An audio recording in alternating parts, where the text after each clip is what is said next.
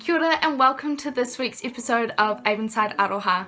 I'm Bridie and the student exec team and I are ready to send some more exciting news and information your way. One pretty big bit of news that I'm sure most of you would have heard by now is that on Monday our Prime Minister announced that we will be moving into level 2 on Thursday and schools can go back on Monday the 18th of May. It's pretty easy to get excited about this news, but we do need to remember that we are still in the alert levels and therefore things aren't going to be back to normal just yet. We still need to make sure that we follow the guidelines and recommendations that have been put in place to keep people safe and make sure that we don't move backwards.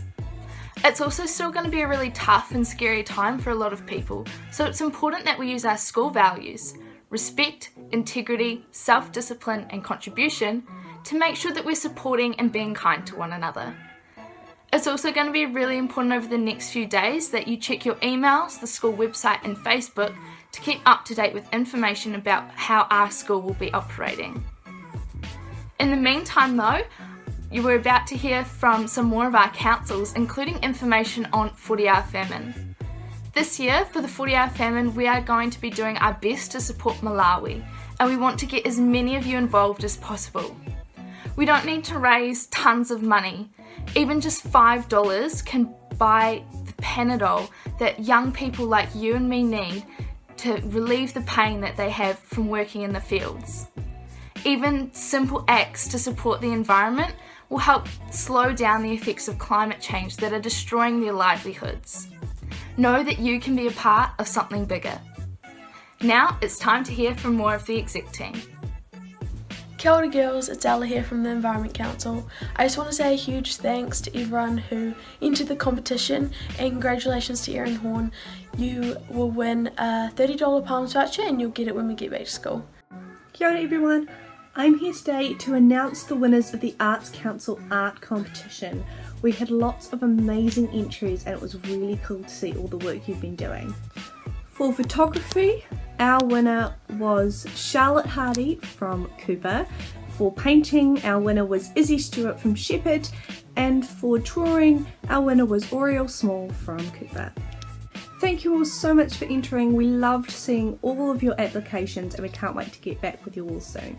Here are some of our other favourite pieces of art. Hi guys, uh, my name's Greta. I'm the Deputy Head of the Sports Council. Um, we're going to be running a competition over the next month to encourage students to stay active during these uncertain, for some difficult times. Uh, the competition involves students like you and me travelling the length of New Zealand by either walking, running or biking. Um, I know it's been difficult for some people, the sports, like uh, winter sports being cancelled, but I think now more than ever it's important to stay physically active, not just for basic fitness but for your mental health and well-being as well. It's very well known that those two are linked together. Um, for more information on the competition I'll pass it on to Stella. Hey guys, just um, touching up on what Greta said before about the competition, that it runs from the 12th of May to the 12th of June, that gives you a month. It is an ACL class competition, so talk as a group.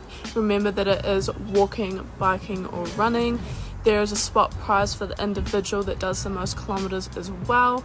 Um, remember that you guys, if you don't keep the evidence of your kilometres, you don't get the prize. So we've sent out a list of apps that you guys can use remember to just keep those safe. Um, at the end of it, you guys, as an ACL class, will get the seniors to send in the kilometres to Miss Padden, and then we, as a sports council, will come out and check the form class with the most kilometres. Um, and yeah, the point is to get active and to see if we can travel NZ with our kilometres. So, yeah, thank you very much, and let's see if we can do it.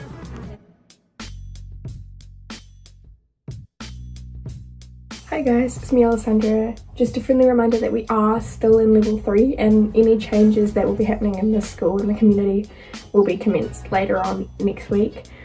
Don't get too excited yet, but just know that we've done so well and we're working through this together. And we are a strong community and we got this. So just keep staying strong,